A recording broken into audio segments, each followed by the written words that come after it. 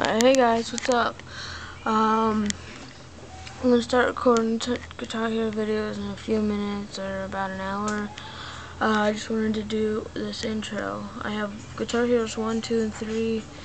Um, I'm not sure yet, but Guitar Hero 2 is gonna have to wait. I lost all the memory. Guitar Hero 1, I'm really not into. But 3 will be definitely up and running, so I'm gonna have to wait, but um, I'm gonna post a video. It won't be 100%, but it will be something good. So just check it out.